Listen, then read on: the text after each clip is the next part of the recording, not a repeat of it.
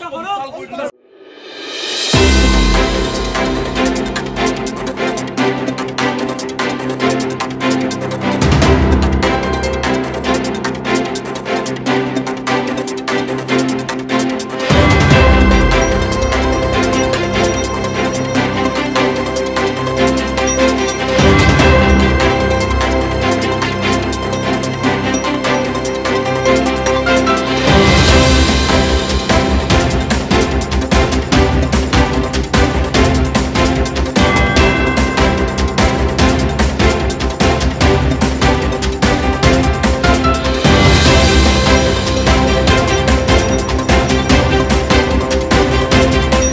এশ নম্বৰ শ্বহীদ সত্যনাথ গাঁও পঞ্চায়তৰ পৰা আমাৰ পাঁচখন গাঁও কৰ্তন কৰিছে।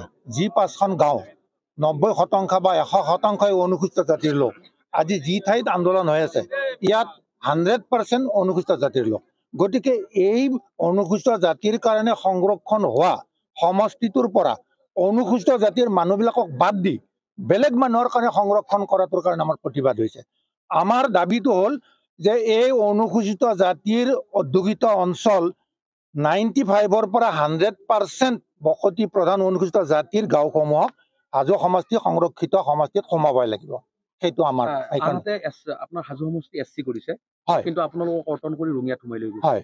এয়া আপোনাৰ কি অন্যায় হৈছে? অন্যায় ঘোৰ অন্যায় হৈছে। অন্যায়ৰ এইকাৰণে কথা যে আপোনালোকে জানে আপোনাৰ গৰ্জন মীন মহল মীন মহল এখনত ইয়াতে আপোনাৰ লাখ লাখ টকা আমাৰ মানুহে তাত চৰকাৰক দিয়ে।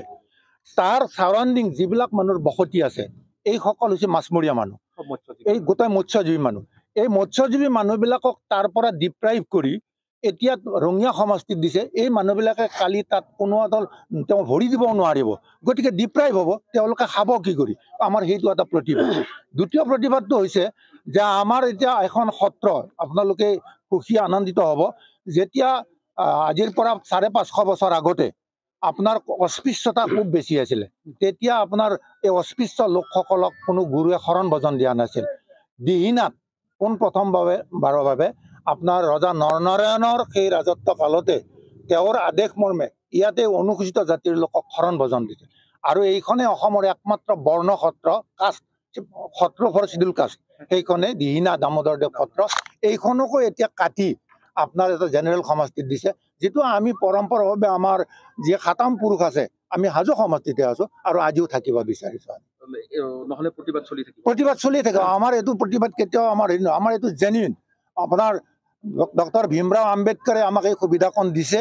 গতিকে এই সুবিধাকণৰ ভিত্তিতে যেতিয়া আপোনাৰ পাৰ্লিয়ামেণ্টাৰী সমষ্টিয়ে হওক বা এছেম্বলি সমষ্টিয়ে হওক সংৰক্ষণ হৈছে আজি অকল not only for schedule caste আপোনাৰ ট্ৰাইবেলৰ কাৰণে হৈছে আমি এটা কথাত সুখ পাইছোঁ।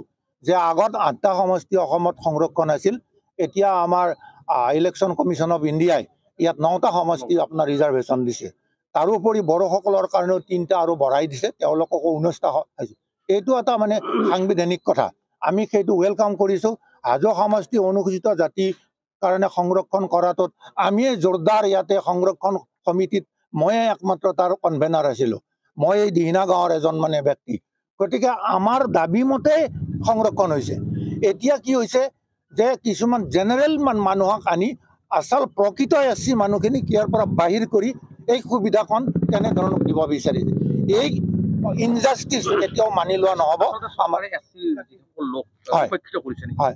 উপেক্ষিত কৰিছে তেওঁলোকক মানে সুবিধাটো দিব খোজা নাই। কি কাৰণত দিব খোজা নাই মই ক'ব পৰা নাই। আমি এতিয়া চৰকাৰক ডাইৰেক্টলি দোষাৰোপ কৰিব খোজা নাই। যিহেতু এইটো নিৰ্বাচন আয়োগে নটিফিকেশ্যন কৰিছে। আমাৰ দাবীটো নিৰ্বাচন আয়োগৰ লগত এইখন খচৰা।